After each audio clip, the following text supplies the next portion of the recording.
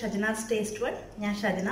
അപ്പോൾ ഇന്ന് ഞാൻ വന്നിരിക്കുന്ന ഒരു സിമ്പിൾ പുഡിംഗ് റെസിപ്പി ആയിട്ടാണ് മാംഗോ കസ്റ്റാർഡ് പുഡിംഗ് അപ്പോൾ അതെങ്ങനെ സിമ്പിളായിട്ട് ഉണ്ടാക്കാം നമുക്ക് നോക്കാം. മാംഗോ കസ്റ്റാർഡ് പുഡിങ്ങിന് വേണ്ടിയിട്ടുള്ള ഇൻഗ്രീഡിയൻസ് എന്തെല്ലാം നോക്കാം. അതിന് വേണ്ടിയിട്ട് രണ്ട് മാങ്ങ എടുത്തിട്ടുണ്ട്. പിന്നെ എടുത്തിരിക്കുന്ന പാലാണ് ഇത് മുന്നൂറ് എം എൽ പാലാണ് ഞാൻ ഇവിടെ എടുത്തിട്ടുള്ളത്. പിന്നെ വേണ്ടത് കസ്റ്റാർഡ് പൗഡർ ഒരു രണ്ട് ടേബിൾ സ്പൂൺ കസ്റ്റാർഡ് പൗഡർ വേണം.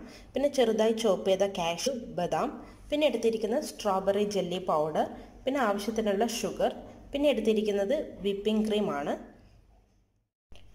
അപ്പോൾ ഇത്രയും ഇൻഗ്രീഡിയൻസ് വെച്ച് നമുക്ക് സിമ്പിളായിട്ട് മാംഗോ കസ്റ്റാർഡ് പുഡിംഗ് ഉണ്ടാക്കാം. അപ്പോൾ അതെങ്ങനെയാണെന്ന് നോക്കാം. അപ്പോൾ ഇവിടെ ഞാൻ കാൽ കപ്പ് നല്ല തണുത്ത പാലെടുത്തിട്ടുണ്ട് അതിലേക്ക് നമുക്ക് രണ്ട് ടേബിൾ സ്പൂൺ കസ്റ്റാർഡ് പൗഡർ ഇട്ടൊന്ന് നന്നായിട്ടൊന്ന് മിക്സ് ചെയ്ത് കൊടുക്കാം.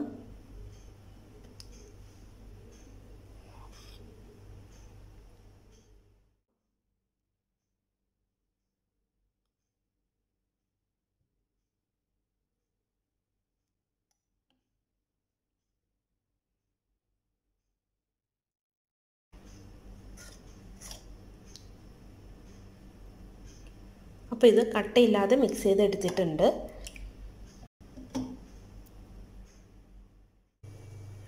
അപ്പോൾ നമുക്ക് കസ്റ്റാർഡ് ഉണ്ടാക്കാം. അപ്പോൾ അതിന് വേണ്ടിയിട്ട് ഇവിടെ എടുത്തു വെച്ചിരിക്കുന്ന പാൽ ഒഴിക്കാം. പാൽ നന്നായിട്ട് ചൂടായിട്ടുണ്ട്.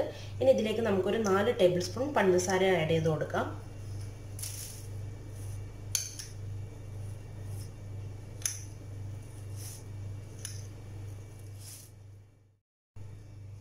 ഇനി നന്നായിട്ടൊന്ന് മിക്സ് ചെയ്ത് കൊടുക്കുക. ഇനി ഇതിലേക്ക് കസ്റ്റാർഡിന്റെ മിക്സ് ഒഴിച്ചു കൊടുക്കുക.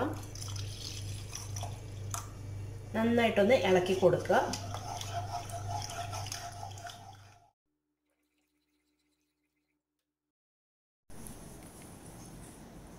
കസ്റ്റാർഡ് തിക്കായി വരുന്നുണ്ട്. കസ്റ്റാർഡ് നന്നായിട്ട് തിക്കായി വന്നിട്ടുണ്ട്. നമുക്കിനി തീ ഓഫ് ചെയ്യാം. ഇതാണ് കൺസിസ്റ്റൻസി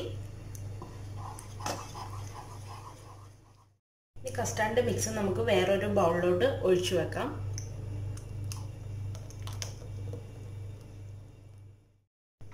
ഇനി ഇതിന്റെ തണുപ്പ് മാറിയിട്ട് നമുക്ക് ഫ്രിഡ്ജിൽ ഒരു രണ്ട് മണിക്കൂർ കസ്റ്റാർഡിനൊന്ന് സെറ്റ് ചെയ്യാൻ വെക്കാം. ഇതിലേക്ക് ഞാനൊരു കാൽ കപ്പ് വെള്ളം ഒഴിച്ചു കൊടുത്തിട്ടുണ്ട്. ഇനി ഇതിലേക്ക് നമ്മുടെ സ്ട്രോബെറി പൗഡർ ആഡ് ചെയ്ത് കൊടുക്കാം. നന്നായിട്ടൊന്ന് മിക്സ് ചെയ്ത് കൊടുക്കുക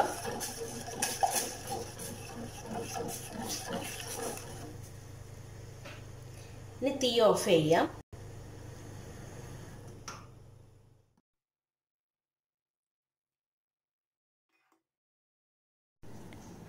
സ്ട്രോബെറി ജെല്ലിയാവാൻ വേണ്ടിയിട്ട് ഇത് ഫ്രിഡ്ജിൽ ഒരു മണിക്കൂർ സെറ്റ് ചെയ്യാൻ വെക്കാം. മാങ്ങ ചെറിയ പീസസായി കട്ട് ചെയ്ത് വെച്ചിട്ടുണ്ട്. ഇനി ഇത് മിക്സിയുടെ ജാറിലോട്ടിട്ട് നന്നായിട്ടൊന്ന് അരച്ചെടുക്കാം.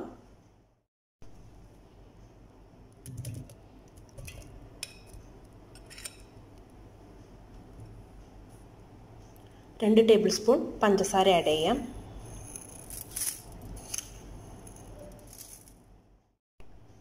അപ്പോൾ മാംഗോ പ്യൂരി ഇവിടെ റെഡി ആയിട്ടുണ്ട്. അപ്പോൾ ഇനി വിപ്പിംഗ് ക്രീമിനെ നമുക്കൊന്ന് വിപ്പ് ചെയ്തെടുക്കാം. അതിന് വേണ്ടിയിട്ട് ഞാനൊരു ബൗളിൽ കുറച്ച് ഐസ് ക്യൂബ് ഇട്ടിട്ടുണ്ട്. അതിന്റെ മുകളിലായിട്ട് ഞാനൊരു ബൗൾ വെക്കുന്നുണ്ട്. ഇങ്ങനെയാണെങ്കിൽ നമ്മൾ ക്രീം നല്ല പെർഫെക്റ്റായിട്ട് വിപ്പായി കിട്ടും. ഇനി നമുക്കിതിലേക്ക് ക്രീം ഒഴിച്ചു കൊടുക്കാം.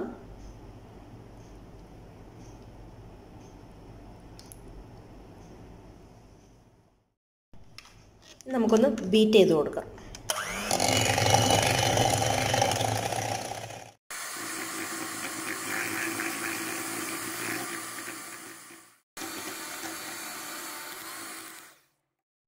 ക്രീം വിപ്പായി കിട്ടിയിട്ടുണ്ട്.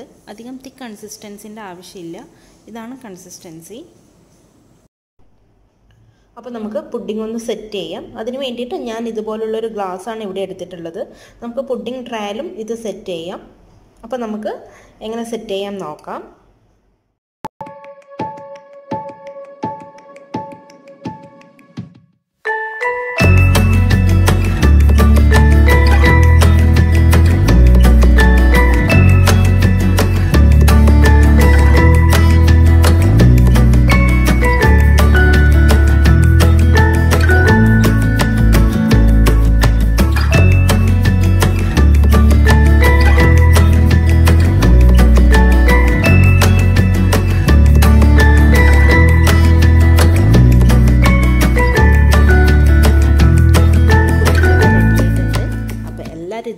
ചെയ്ത് നോക്കണം. താങ്ക്